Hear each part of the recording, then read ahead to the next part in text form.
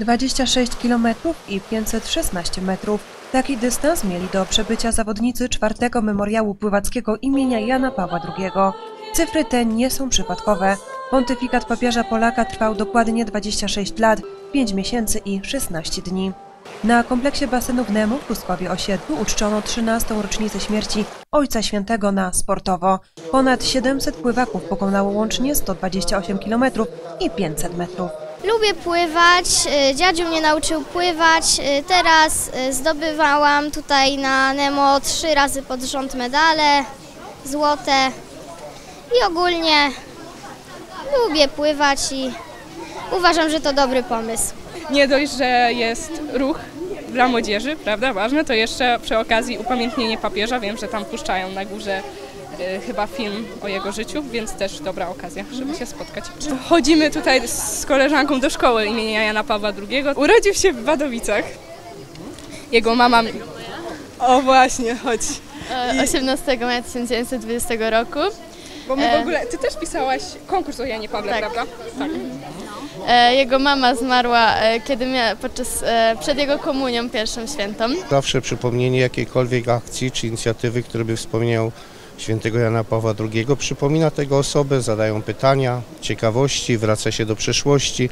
Chociażby tak jak Pani mówiła, bo większość jest tych uczestników, których nie pamięta jego czasy życia, jego słowa, nauczania, ale myślę, że taka akcja przypomina tą postać, przybliża. Myślę, że tak, jest to taką prowokacją też, żeby sięgnąć, nie tylko sięgnąć, tylko zawsze zadają pytanie, co robił, co dokonał, skoro tak ludzie go, czcią, nie tylko, że był Polakiem, ale jeszcze więcej właśnie. Myślę, że taka akcja też przypomina to i prowokuje po to, żeby głębiej sięgnąć właśnie do tego, co nauczył, do czego wzywał i co, co nam przekazywał.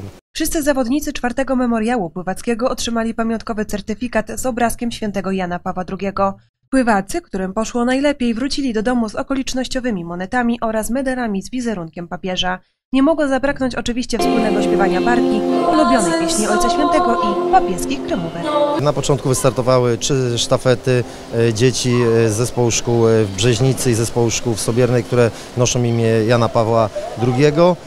Chcemy tym e, pływaniem pobić e, rekord 26 km 516 metrów. Każdy może wziąć udział bez względu na wiek, czy to dzieci, czy dorośli, czy seniorzy. Trzeba zaznaczyć, że nie najważniejsze jest e, pobicie tego rekordu, ale żeby w jakiś sposób uczcić naszego papieża Polaka.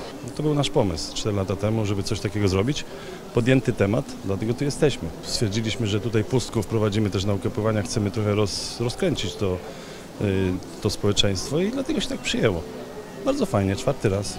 Na pewno przyjadą i, i czyli i Karamielec, na pewno będą z Bobrów Dębica, na pewno będzie Gryf Dębica, bo co roku przyjeżdżają, w zeszłym roku byli nawet z Olkusza chyba zawodnicy, także tych kilometrów trochę ci zawodnicy jednak zrobią.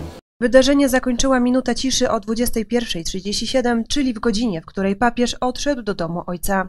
Na wydarzenie zaprosili m.in. Gminny Ośrodek Sportu i Rekreacji Gminy Dębica, Urząd Gminy Dębica, Starostwo Powiatowe w Dębicy, Klub Sportowy Chemik Pustków oraz firma Spart Chmielec.